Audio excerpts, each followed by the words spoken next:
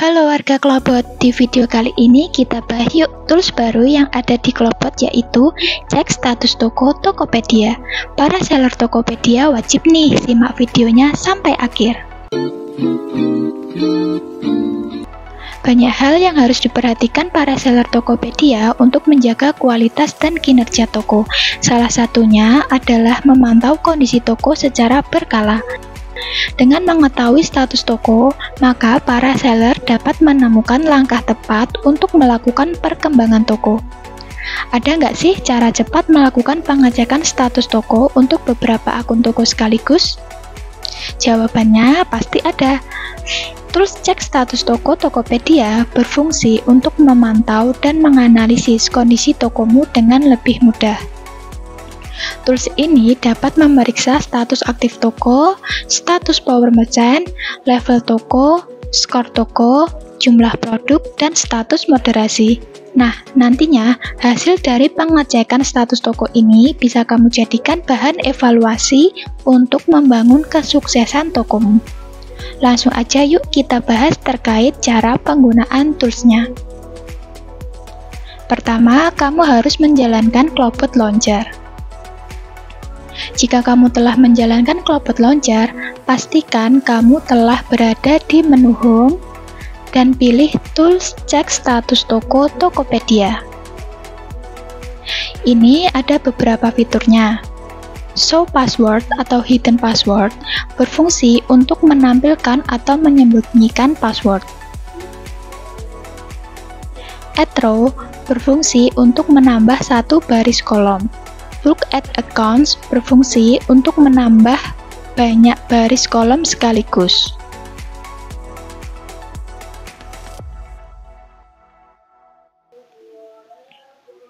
Import from CSV berfungsi untuk import profil toko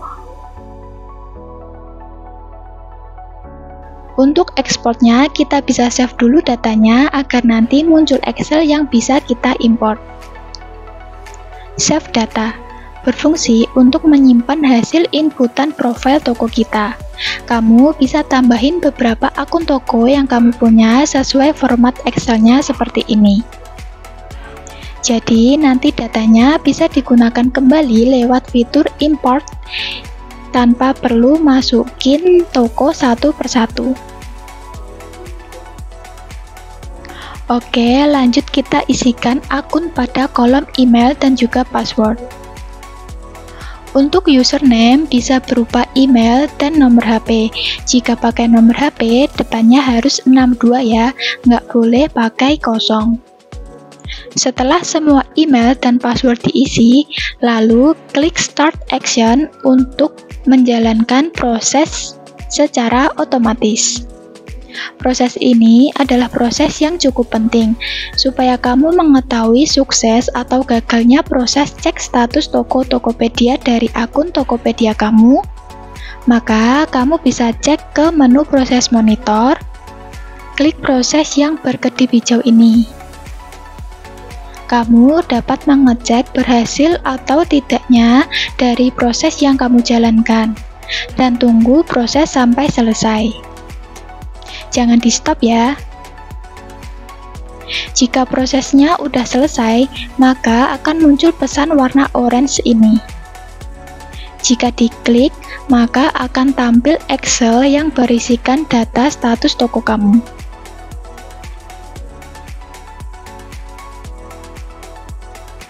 Kita buka ya hasil rekapnya. Jadi, nanti akan tertampil keterangan seperti email, menunjukkan email tokomu. Store menunjukkan nama toko kamu. Status menunjukkan status toko Power Merchant pada toko kamu aktif atau tidak. Aktif menunjukkan toko kamu aktif atau tidak.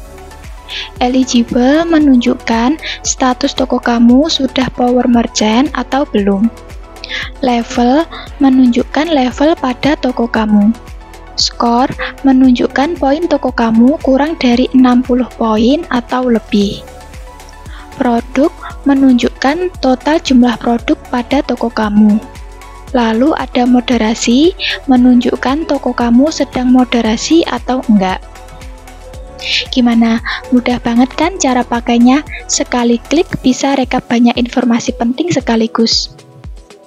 Oh ya, kalau kamu punya request mau ditambahi fitur apa lagi, bisa kok langsung usul ke kita di kolom komentar ya. Semoga video kali ini bermanfaat ya.